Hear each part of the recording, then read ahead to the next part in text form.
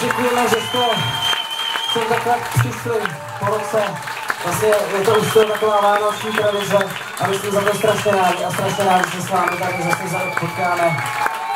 A samozřejmě se s vámi strašně rádi potkáme i v Outu Univerzum, kde hrajeme 18. a 19. dubna, vlastně tam oslavíme naše 18. narozeniny. Tak prosím, buďte u toho, protože se na to strašně těšíme, výsek na Outu Arenu.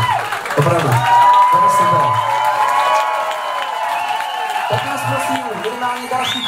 Tak nás prosím, minimálně